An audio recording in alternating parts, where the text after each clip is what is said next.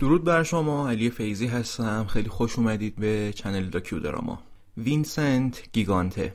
کسی که برای حدوداً سی سال هم یه خلافکار بود که تا حد پدرخواندگی خانواده جنووسه هم پیش رفت و هم یه بازیگر بود. بازیگری که واقعا بی‌نظیره حالا می‌رسیم بهش که چرا میگم بی‌نظیره می‌خوام مقایسش کنم با چند تا از بازیگرا. که این چه فرقی داره با اونا چه مزیتی داره که اونا ندارن. ولی فراموش نکنیم که داریم راجع به یه پدرخوانده مافیایی صحبت می‌کنیم. کسی که تو طول زندگیش کلی خلاف کرده دستور قتل صادر کرده ترور کرده آدم ها رو و خانواده جنوبسه رو توی این سی سال که داشت تظاهر می‌کرد به یک روانی. میگو من روانی هم که اف دستگیرش نکنه سی سال تمام. هم تو خونش هم تو خیابون همه جای روانی بود. توی این سی سال خانواده جنوبسه رو میرسونه به ثروتمندترین خانواده توی یه دوره ای که درآمد سالانه این خانواده حدودا 100 میلیون دلار برآورد شده بوده. بنابراین با یه عجوبه طرفیم و اول یه زندگی نامه مختصر ازش میگم بعد بریم سراغ اصل ماجرا. چون می‌خوام بررسی بکنم و یه خورده عمیقتر بهش فکر بکنیم. می‌دونید این قضیه یک گیگانته که یه آدمی سی سال تظاهر کنه که یک دیوانه است که آی و دادگاه کاریش نداشته باشه اینجوریه که شما می‌تونید به صحنه مثل یه فیلم در نظرش بگیرید بگید مثلا واو چه باحال چه جالب مثلا مگه میشه؟ ولی میشه عمیقتر برید و یه خورده باش همزاد پنداری بکن. یعنی خودتون یه خورده بذارید جاش و به این فکر کنید که واقعا مگه میشه. اصلا مگه شدنی؟ مغز انسان مگه چقدر قدرت داره؟ خیلی برام جالب این مدل نگاه کردن به شخصیت ها چه خلافکار چه سالم فرقی نمی‌کنه. پس بریم ببینیم وینسنت گیگانته کی بود و چی کار کرد که به یک افسانه تبدیل شد تو دنیای خلافکارها تو دنیای اوباش. 1928 توی East Side نیویورک به دنیا میاد. پدر مادرش سالواتوره و یولوندا نسل اول مهاجرایی بودن که از ناپل اومدن به آمریکا و یه خانواده فقیر بودن دیگه. سالواتوره کارگر بود و ساعت سازی مدت کار می‌کرد. یولوندا مادرش خیاط بود و یه خانواده سخت کوش آدمای خوب آدمای صادق. و وینسنت هم که پنجمین پسرشون بود از همه کوچیکتر بود اینو گذاشته بودن تو مدرسه کاتولیکا. تحصیل می‌کرد درسش هم گویا خوب بوده. ولی خب این روح سرکشی باهاش بود دیگه. مثلا خیلی به پدر مادرش نرفته بود. شاید تحت تاثیر محیط بوده شاید نمی‌دونم ژنتیکش بوده هر چی بوده این یه خورده فرق داشت با خانواده. و دیگه به 16 سالی که می‌رسه مطمئن میشه نمی‌خواد ادامه تحصیل بده. به شدت علاقه شده به بوکس. میره بوکس و نشون میده این آدم مثلا از نوجوانیش چقدر نابغه بوده. ها ظرف سه سال یعنی از 16 سالگی تا 19 سالگی بلا فاصله می‌رسه به مسابقات حرفه‌ای تو سبک وزن lightweight اصطلاحا و از 25 تا مسابقه 21 مسابقه رو می‌بره. من یه خورده پیگیر مسابقات مثلا بوکس و UFC و اینها هستم یه مقداری حالا خیلی نه حرفه‌ای ولی نگاه می‌کنم. می‌دونم که از 25 تا مسابقه 21 رو بردن یعنی اینکه شما یه قهرمانی توی اون ورزش. خیلی کار راحتی نیست. خیلی ها می‌خوان این مسیر رو برن و شکست می‌خورن. یه جوون سالم ورزشکار زرنگ. بوکس هم یه ویژگی داره اینکه پیوند و رابطه بین عصب و عضله توش خیلی پررنگه. یعنی اگر شما یه خورده بوکس کار بکنید متوجه میشید خیلی راحت نیست زدن اون ضربات و جاخالی دادن ها خیلی باید ذهنت قوی بشه. اصلا من فکر می‌کنم یکی از دلایلی که سالها بعد یه کار عجیب و غریب انجام میده که گفتم چی بود؟ و شاید بخشش به این خاطر بود که این بکسور بود و ذهنش قوی شده بود. واقعا ذهن بکسورها فرق داره با خیلی ها اینو نظر شخصیمه حالا نمی‌دونم نظر شما چی دیگه توی اون سالها 19 سالگی 20 سالگی خب خیلی مشهور شده توی اون مناطق نیویورک مسابقاتی که میره همه شناختنش. تحت توجه خیلی قرار می‌گیره. من جمله ویتو جنووسه ویتو جنووسه اون موقع دیگه همه کاره خانواده جنووسه است دیگه. دقیق تر بخوام بگم بین سالهای 1944 تا 47 که این به 19 سالگی می‌رسه تو بوکس بود از 47 به بعد رو دارم روایت می‌کنم. از همون موقعی هم که این تو بوکس قهرمان شد اسم مستعارش رو گذاشتن چین. معنی چانه رو میده گویا. اما دلیل اصلیش این نبود. به این خاطر بود که مادرش یولاندا که اون لهجه غلیظ ایتالیایی رو به خودش حفظ کرده بود وقتی اینو صدا می‌کرد بیشتر از اینکه بگه وینسنت می‌گفت چینچنت. و این چینچنت دیگه مثلا دوستاش به مسخره می‌گفتن و اینا اونم دیگه بهش چین می‌گفتن. این اسم مستعاره میمونه در آینده باز این همینم به کارش میاد. این جالبه تو زندگیش. ولی خب وقتی ویتو جنوبسه اینو می‌گیره زیر پر و بالش رابطه اینا خیلی قوی میشه با هم. گویا تو همون سالها مادرش یولوندا هم یه مریضی می‌گیره نیاز داشته عمل بشه. هزینه جراییش هم زیاد بوده و ویتو این هزینه ها رو میده. وقتی این پول رو میده به وینسنت خب رابطه خیلی قوی تر میشه. حالت مرید مرادی دیگه پیدا می‌کنه. خودش رو مدیون ویتو جنوبسه می‌دونه. و شروع میشه. به عنوان سرباز سرباز صفر شروع می‌کنه برای خانواده جنوبسه کار کردن و میگن تا 25 سالگی فقط هفت بار دستگیر شد. یعنی حالا اینکه چه کارهایی کرده که کسی خبر نداره و دستگیر نشده بماند. فقط هفت بار دستگیر شده. به جرایم مختلف دیگه. سرقت اتومبیل و آتیش زدن جاهای مختلف و چیزهای از این قبیل. خیلی دیگه داره دور برمی داره و طبیعتا یه عده بهش حسادت می‌کنن ولی شخص جنوبزه همیشه اینو دوست داشت و می‌دونست که می‌تونه روی این حساب بکنه. از 25 سالگی به بعد همچنان سربازه ولی جایگاهش خیلی مهمتر شده تو خانواده و ویتو جنوبسه دیگه مطمئن میشه رو آدم درستی سرمایه گذاری کرده. چیه جریان این سرمایه گذاریه باید یه فلشبک بزنیم بریم به اوایل دورانی که ویتو تازه شده بود رئیس خانواده جنوبسه. کی؟ بذارید اینجوری بگم. لاکی لوچیانو رو مؤسس خانواده جنوبسه می‌دونن دیگه. لاکی لوچیانو که یه خانواده برای خودش داشت به اسم خانواده لوچیانو. اون دوره‌ای که حالا تو ویدیو خودش گفتم دیگه اون کارها رو کردن دیگه نمی‌خوام واردشون بشم چون باید, برم تو جزئیات. اومده برای خودش کسی شده دیگه لوچیانو صاحب خانواده شده 5 تا خانواده الان هستن تو نیویورک و به 1936 که می‌رسه میفته زندان لاکی لوچیانو. یه مدت بعد جنگ شروع میشه جنگ جهانی دوم. تو زندان آمریکاییاست میره تو جنگ کمک می‌کنه با آمریکایی‌ها اون ماجراهایی که قبلا گفتم پیش میاد.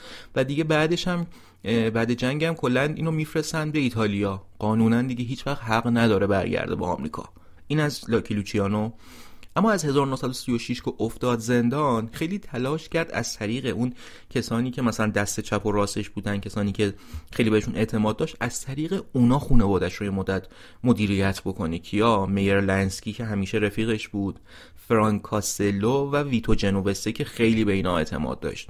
این فرانک کاستلو رو من خودم همیشه قبلا با کاستلانو اشتباه می‌گرفتم. خاطرتون باشه تو یک دوتا از ویدیو هم چند بار اشتباه گفته بودم. خیلی دارم حواسمو جمع می‌کنم. خواستم شما هم بدونید این کاستلانو نیست فرانک کاستلو. 1936 از طریق اینا می‌خواد لاکی لوچیانو مدیریت کنه ولی مینه نمیشه. اصلا شدنی نیست. سطح امنیت خیلی بالاست و نمی‌تونه هی به اینا خط بده. پس به ویتو جنوبسه میگه از این به بعد تو رئیس موقت خانواده ای و ویتو جنوبسه از همون سال سال 36 که میشه پدرخوانده بهتر بگم رئیس موقت دیگه پدرخوانده حالا خورده چی سر رئیس موقت که میشه اسمش هم میمونه. اصلا دیگه از این به بعده که میشه خانواده جنوبسه. آدم ای بوده. خیلی قبولش داشتن تو اون خانواده. ولی یه جرمی قبلا کرده بوده یه قتلی کرده بوده سال 34 سه سال قبل که بابت اون قتل حالا تونسته اف ثابت بکنه و افتادن دنبالش. یه خورده که میگذره میفته زندان جنوبسه نه تنها میفته زندان بلکه اینو مسترد می‌کنن به ایتالیا. دیگه اصلا آمریکا هم نمیمونه برای سالها. لوچیانو وقتی این رو می‌فهمه میگه خب جنوبسه که دیگه نمی‌تونه کاستلو تو بیا بشو رئیس موقت. جنوبسه انتظار این رو نداشت. یعنی می‌گفت خب من می‌تونم از دور مدیریت بکنم دیگه. ولی به این فکر نکرده بود که خب اگر تو می‌تونستی لاکی لوچیانو که از تو خیلی کارکشته تر و حرفه‌ای تر اون نتونست. تو چجوری می‌تونی؟ منطقی نبوده حرفش. و وقتی کاستلو میشه رئیس موقت ازش کینه به دل می‌گیره. واقعا غیر منطقی. یعنی اصلا با هیچ عقلی دنیای تبکارا رو نمیشه واقعا با عقل معمولی قضاوت کرد. آقا تو نیستی. تو اصلا رفتی ایتالیا. چجوری می‌خوای رو؟ بعد به کاستلو چه ربطی داره؟ لاکی لوچیانو گفته این بشه. چرا از این کینه به دل می‌گیری؟ ولی دیگه این حرفا حالیش نبود ویتو جنوبسه و می‌خواست هر جوری شده انتقام بگیره از این آدم. میگذره تا سال 1957 دورانی که حالا وینسنت گیگانته رو کشف کرده آورده از یه سرباز صفر این رو رشد داده روی سرمایه گذاری کرده کلی کار بهش یاد داده دوران کارآموزی رو طی کرد گیگانته زیر نظر ویتو جنوبسه و حالا همه چیز آماده است تا اون برنامه ای که نزدیک دو دهه است. که این ویتو جنوبسه می‌خواد سر کاستلو پیش بیاره رو دیگه عملی بکنن. این میشه که توی یکی از روزهای سال 1957 وقتی که فرانک کاستلو با همسرش و چند تا از دوستاش میره تو رستوران شام می‌خوره شبانه سوار تاکسی میشه و برمیگرده میاد تو ساختمونی که توی زندگی می‌کرده. وقتی در رو باز می‌کنه یه کادیلاک مشکی رنگ از پشت آروم نزدیک میشه. کاستلو حواسش نیست. خیلی آروم میاد سمتش. وقتی کاستلو پیاده میشه از تاکسی میره توی راه رو یه مردی پیاده شده از کادیلاک سه تا گلوله بهش شلیک می‌کنه. دقیقا وقتی کاستلو تو راه روه هنوز هیچ کس ندیدتش این سه تا گلوله شلیک می‌کنه. به سریع هم فرار می‌کنه سوار کادیلاک میشن و گاز میدن میرن. این میشه که وقتی فرانک کاستلو وارد لابی میشه دیگه خون از سر و روش داره میباره. میفته کف زمین همه میریزن سمت یک زنها جیغ می‌کشن دیگه این صحنه رو خودتون تصور کنید دیگه. دربان میاد زنگ می‌زنه به پلیس و شروع می‌کنه پلیس دنبال کردن اینکه قضیه چیه. کاستلو یه مدت بستری میشه تو بیمارستان ولی زنده میمونه. نکته جالب توجهش اینه. سه تا گلوله گویا به جای حساسی نخورده بوده. فقط یکی از گلوله ها به پوست سرش اصابت کرده بوده. خیلی خون خون ریزی داشته ولی زنده میمونه. چند روز بعد کلا از بیمارستان مرخص میشه. یعنی اصلا اتفاق بدی براش نیفتاده بود. دیگه اف بی آی شروع می‌کنه به تحقیق کردن. می‌دونستن فرانکاستلو کیه و می‌دونستن همچین تروری چیز ساده ای نیست. گفته شده تو منابعم دیدم که گفته بود فقط توی این پرونده 66 تا کارگاه رو به کار گرفتن. خیلی عدد سنگینیه واقعا نمی‌دونم دیگه. حالا منبع هم گفته تو description طبق معمول می نویسم منابع رو. با خودتون واقعا 66 تا کارگاه توی پرونده برای خودم خیلی عجیب بود. اینا شروع می‌کنن تحقیق کردن. اما می‌دونید مسئله چیه؟ اینه که فرانک کاستلو میگه من نمی‌دونم کیه. می‌دونه کی اصلا مگه میشه ندونه؟ ولی میگه نه من نمی‌دونم. اصلا من صدای شلیک هم نشنیدم. خیلی عجیبه. و اینا می‌بینن نه اصلا این حرفی نمی‌زنه. میرن با دربان صحبت می‌کنن. کسی که شاهد بوده. اون میگه خب نقاب داشت طرفو ندیدم. ولی آدم تنومندی بود. یه مرد شیش فوتی بود. قدش اینجوری راه می‌رفت اینجوری بود. دیگه پلیس تحقیق تحقیق تحقیق. کلی از عکس خلافکارا رو میاره می‌ذاره جلوی این دربانه. وینسنت گیگانت هم که ماشاءالله کلی سابقه داره. عکساشون ماگشاتاش هست. می‌ذارن و تشخیص میده اینه. دربان شهادت میده که آقا اینه. میرن دستگیرش می‌کنن.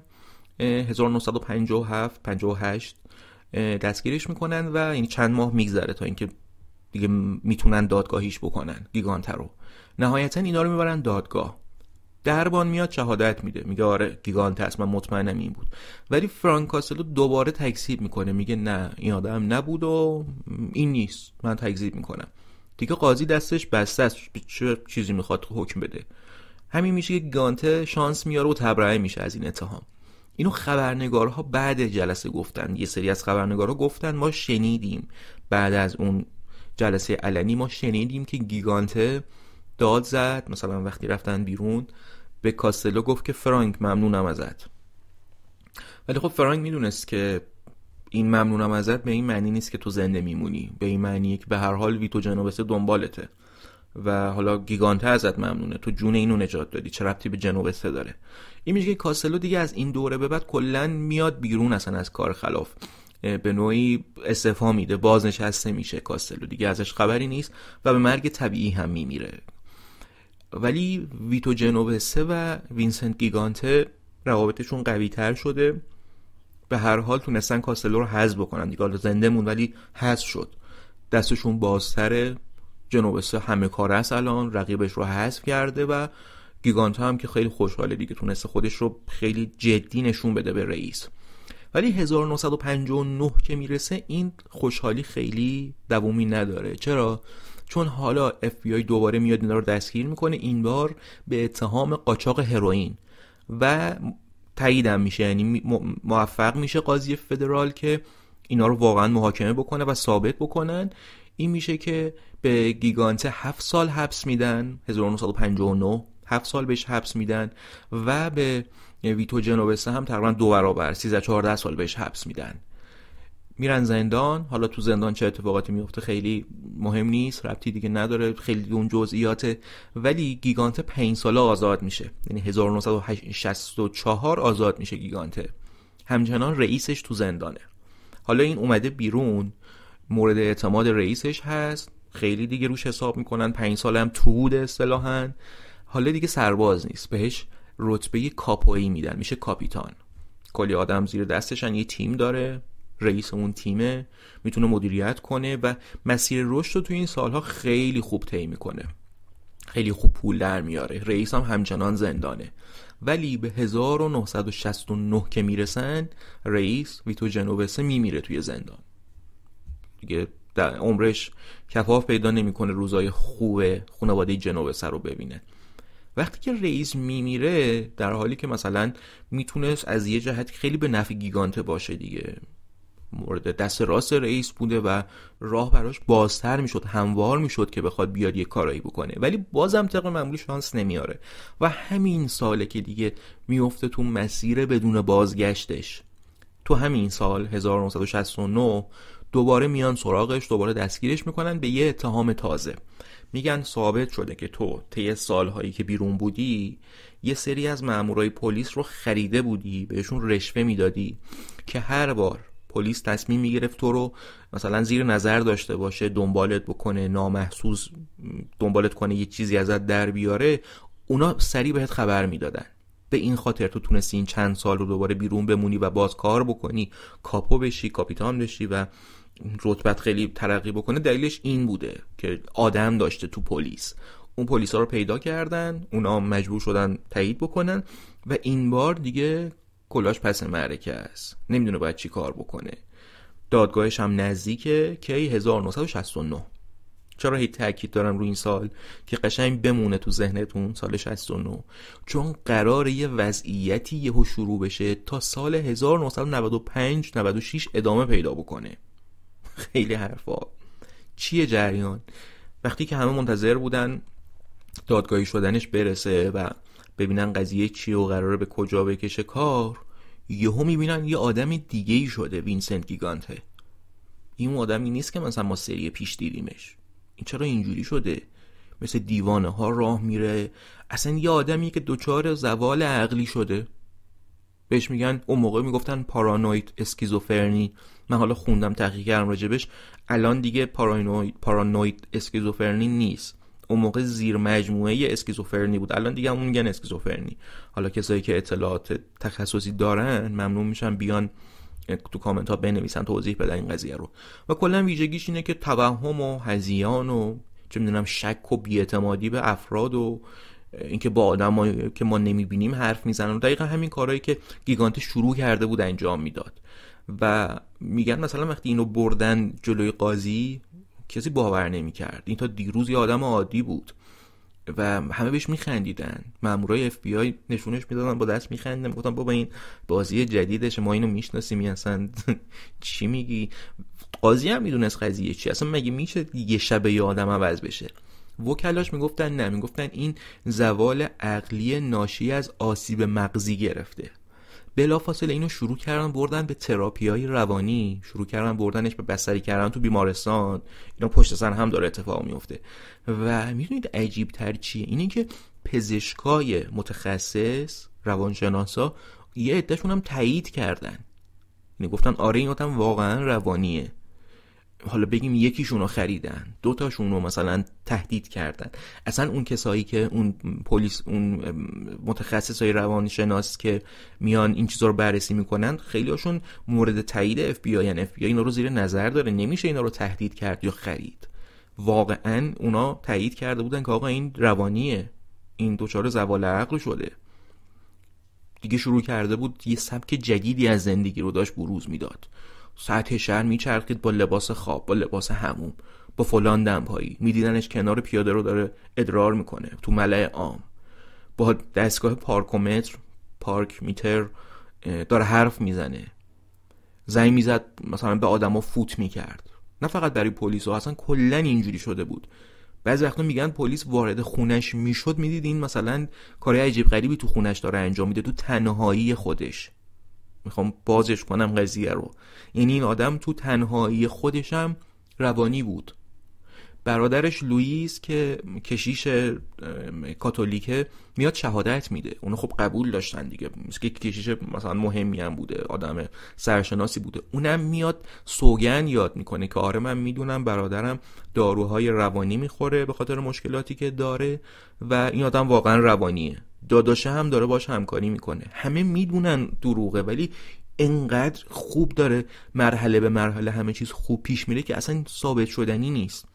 یه تیم حرفه‌ای از وکلا داره اونا کلی پرونده ها رو خوب چیدن براش هی فشار میارن به دستگاه قضا از اون طرف دکترا دارن تایید می‌کنن میگن طی این چند سال از 69 شروع میشه تا همون دهه 90 28 بار رفت بیمارستان و بررسی شد به سری شد ازش آزمایش گرفتن و هر بار گفتن آره این مشکل داره این روانیه. یه وسیقه یک میلیون دلاری هم گرفته بودن ازش که مطمئن باشن جایی نمیره هست تو نیویورک اصلا نیازی نیست جایی بره.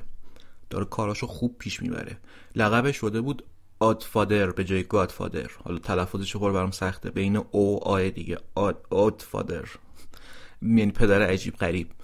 و حالا علاوه بر اینکه این وسیقه رو گذاشته و علاوه بر اینکه خیلی خوب داره پیش میره نقشش رو خیلی خوب داره اجرا می‌کنه. ولی مهمتر این که یه زندگی موازی هم داره که بتونه خانواده رو مدیریت بکنه دیگه. چون تاریخ رو دیده دیده اگر تو نباشی حذف میشی. باید بتونی مدیریت کنی. آدما از تو دستور می‌خوان از تو صلابت می‌خوان موقعی تصمیم گیری. اگر نتونی سوارت میشن میزننت کنار.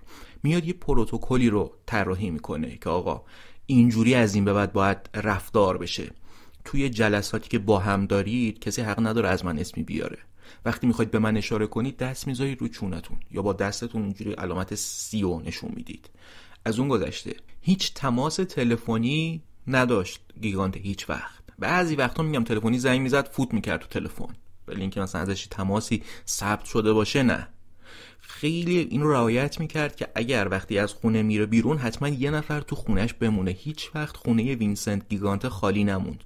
می‌دونستن اف بی آی وارد میشه و میکروفون جا می‌ذاره. مثلا همون کاری که با گراوانو و جان گاتی کردن. اف بی آی تعارف نداشته که از هر راهی وارد می‌شد که این مافیا رو شکست بده.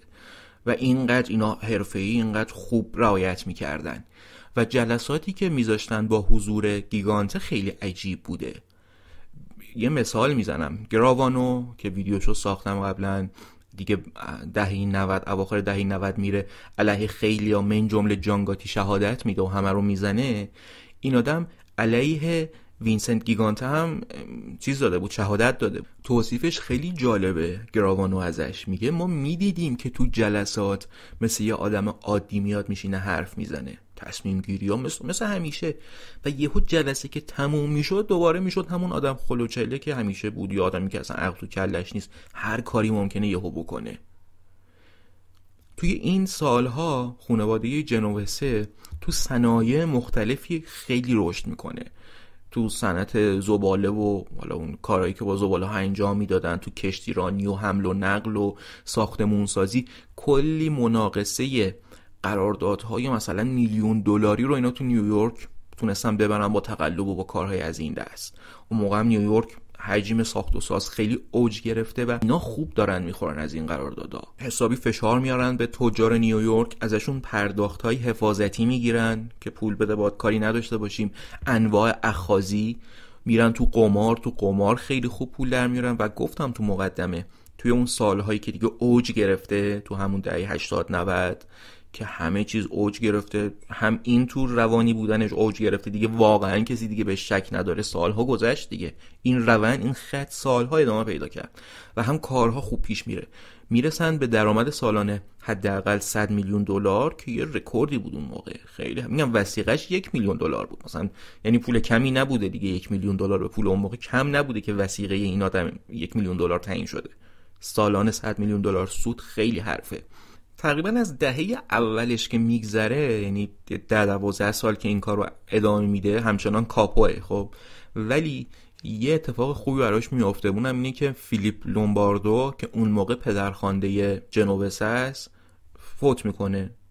و دیگه انقدر همه کار است این گیگانته توی این خانواده که خودش میشه رئیس خانواده و بعدها دهه 90 وقتی جان گاتی رو گرفتن این آدم شده بود رئیس رؤسا. capo di cap capo di capi. حالا اگر اشتباه نگم ایتالیاییش رو رئیس رؤسا بود دیگه. همه کاره‌ی اون پنج تا خانواده نیویورکی بود. ببینید اینا رو دارم میگم به حرف ساده است. فقط یه خورده بیایید بیشتر فکر کنیم که چطور میشه تو تو طول روز شب روانی باشی ولی اینجوری بتونی مدیریت کنی که همه قبولت داشته باشن و یه شبکه‌ای طراحی بکنی. این شبکه ارتباطات می‌خواد دیگه. طوری اینا پیش برن که یه رد نتونه از هدف بیای بزنه. ببینید تو دنیای بازیگری خب می‌دونی یه سبکی هست به اسم متودکتینگ که بازیگرا میرن اون نقش رو زندگی می‌کنن دیگه. مارلون براندو میره تو تیمارستان یه مدت به سری میشه برای فلان نقش. دنیرو برای فلان نقش میره یه مدت راننده تاکسی میشه. بتونه مثلا اون نقش رو بازی کنه. خیلی از بازیگرا شنیدیم افسردگی های بدی گرفتن بعد از اون نقش هایی که بازی کردن. نمونهشون دیگه کسیه که نقش جوکر رو بازی کرد. هیس لجر که توی شوالیه تاریکی نقش جوکر رو بازی کرده بود سال 2008 خودکشی کرد. جک نیکلسون که خودش قبلا توی جوکرایی که ساخته تیم برتون بود بازی کرده بود میگه من به هیس لجر گفتم هشدار دادم حواست باشه داری نقش خطرناکی رو بازی می‌کنی ولی این هشدار منو جدی نگرفت. مسئله چی؟ مسئله اینه که اصلا توی این دنیای بازیگری به سبک متد این که شما میری یک نقشی رو زندگی می‌کنی برای چند هفته یا چند ماه وقتی اون نقش تموم میشه تو دوره های تراپی رو باید طی بکنی. به خاطر اینکه اصلا بازیگرا میگن آقا من برای فلان نقش مثلا اینقدر زمان طول کشید تا برم تو نقش. ایفاش بکنم جلوی دوربین. اینقدر طول کشید از تو نقش بیام بیرون. و مثلا تو یه مصاحبه از براد پیت خوندم. تو فیلمی که بازی کرده بود خیلی وقت پیش مصاحبه با خوناشام همچین اسمی داشت. الان حالا حضور ذهن ندارم. راجع به نقشه خوناشام رو بازی می‌کنه میگه من توی اون نقش پدرم در اومد. حالا به هر اصطلاح خودم. اینکه خیلی طول کشید تا من از اون نقش بیام بیرون. خب حالا اینو داشته باشید. بازیگر حرفه‌ای تربیت شده کلاس رفته زیر نظر اساتید توی یک تیم روانشناسا کنارش پول داره میره تراپی میشه هر موقع بخواد. این آدم برای اینکه مثلا نقش یه پلیس نقش یه خلافکار نقش یه روانی نقش یه جوکر رو بازی بکنه این همه فرایند طی میشه. بازم بعضیاشون کم میارن مثل لیجر. چی میشه که یه کسی مثل وینسنت گیگانته سه دهه نقش یک روانی رو بازی می‌کنه طوری که خودش هم انگار پذیرفته خودش هم میگن طرف مثلا انقدر دروغ میگه خودش هم باور می‌کنه. اینجوری رفته تو نقش که خودش هم پذیرفته ولی در کنارش هر موقع لازمه می‌تونه مثل یک آدم عاقل تصمیم گیری بکنه دستور بده بگه تو این کارو بکن. تو همین سالها دستور قتل چند نفر رو داده بود من جمله جانگاتی. یعنی این آدم حساب داره کتاب داره استراتژی داره. واقعا چی میشه که یه آدم ذهنش اینقدر قوی میشه؟ ولی من اصلا قابل درک نیست که چطوری میشه. سی سال تو این نقش رو بازی بکنی بدون اینکه اصلا مشکلی برات پیش بیاد. چون میگن تو جلسات خیلی آد... نمونش هم گراوانو دیگه. گراوانو حرف علکی نمی‌زنه. الان خودش یکی از منابع معتبر به حساب میاد تو دنیای مافیا دیگه. حرفش حساب میره روش. حساب می‌کنن رو حرفش. میگه خیلی عادی بود. خودش بود. و بعدا وقتی سال 96 دیگه می‌تونن ثابت کنن. دیگه قاضی نهایتا میگه آقا تو داری دروغ میگی. آزمایش های نهایی و حالا کسانی که میان شهادت میدن و اتفاقاتی که میفته 96 دیگه تموم کار. دیگه حکمش رو میدن به خاطر دستور چند قتل و خیلی چیزهای دیگه. کلی جرم داشته تو این سی سال. خیلی کار کرده خیلی پول در آورده به خونش تشنن و میزننش. دیگه 96 میره زندان و 2005 هم تو زندان میمیره تو سن 77 سالگی. ولی من یه یعنی خیلی فکر کردم به این قضیه از وقتی که شروع کردم به مطالعه راجبش تصمیم گرفتم ویدیوشو بسازم خیلی فکر کردم که این آدم چی شد که تونه سی سال در حد یک بازیگری که واقعا باید بهش اسکار بدن تونست این نقش رو بازی بکنه و در کنارش زندگی خودش هم داشته باشه. زندگی که فقط خودش نیست کلی آدم هم داره مدیریت می‌کنه زیر دستش و اون امپراتوری 100 میلیون دلاری رو داره می‌سازه. من فکر می‌کنم حدس خودمه. یه سری چیزها داشته که هیچ کس هم ازش باخبر نیست تو خلوت خودش که دائما به خودش زندگی واقعی خودش رو یادآوری بکنه خودش رو فراموش نکنه. فکر می‌کنم اگر کسی چند سال در این سطح که گیگانته توش بود نقش یک روانی رو بازی بکنه حتما روانی میشه. چون میگم این اصلا تو زندگی عادیش هم این بوده یعنی پلیسا در رو باز می‌کردن می‌رفتن خونهش می‌دیدن این مثلا داره با دیوار حرف می‌زنه. نمی‌دونسته که اف قرار بیاد. یعنی تو طول روز تو شبانه روز هم یه آدم اینجوری بوده. دیدید وقتی دارید یه زبان تازه یاد می‌گیرید وقتی پیش میرید شبا هم به اون زبان یه وقتی خواب می‌بینید. زن اینجوری دیگه. حالا نمی‌دونم قوه نقطه قوتش و نقطه ضعفش اینو نمی‌دونم میشه از دو تا زاویه بهش نگاه کرد. ولی این مدلی رفته بوده توی این نقش و احتمالا میگم یه چیزایی داشته که به خودش هی یادآوری بکنه. نمی‌دونم چی. واقعا اینو باید احتمالا دیگه با خودش برده به گور. چون هیچ جا من ندیدم. خیلی برام جالب بود ببینم کسی چیزی گفته. مثلا یه عکسی دائم جلو خودش بذاره با اون عکس ها هی به خودش یادآوری بکنه. چه می‌دونم با خوندن خاطراتش از گذشته. نمی‌دونم واقعا این چی. ولی قطعا یه کاری بوده که این می‌کرده که یادش نره سی سال خیلی حرفه. میگی میشه شما سی سال یه آدم دیگه باشی ولی در کنارش خودت هم باشی. خوره بهش فکر بکنید خیلی کار عجیبیه. نهایتا سال 1997 دیگه حکمش اومد. دوازده سال حبس گرفت به جرم دزدی و توته برای قتل چند نفر و اینجور چیزا و رفت زندان. تا 2003 هم باز داشت از تو زندان مدیریت می‌کرد خانواده رو. یعنی حدودا دیگه هفتاد سالش شده. همچنان از تو زندان داره کار سختیه. و 2005 هم میمیره توی 75 سالگی. این از داستان زندگی وینسنت گیگانته بود. امیدوارم براتون جالب توجه بوده باشه. خیلی خوشحال میشم بهش فکر کنید. اینجور چیزا کلا الهام بخشه دیگه. باعث میشه افقهای بیشتری تو زندگی باز شه. فقط اون زندگی روتین خودمون رو نگیریم پیش بریم. حتی از این خلافکار آدم کشم میشه چهار تا چیز یاد گرفت. نه اینکه مثلا بگم نقش بازی کردن رو یاد بگیریم. ما که نیازی یه شهروند نیازی نداره بخواد نقش یه آدم دیوانه رو بازی کنه.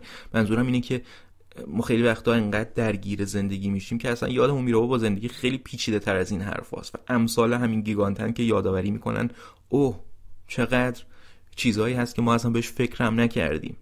چقدر میشه زندگی رو جورایی دیگه ای نگاه کرد باش حال کرد باش اشبازی کرد. به شیوه درست به شیوه سالم نه به این شیوه. ولی میگم اینا منشأ اثر می‌تونن باشن یه جاهایی.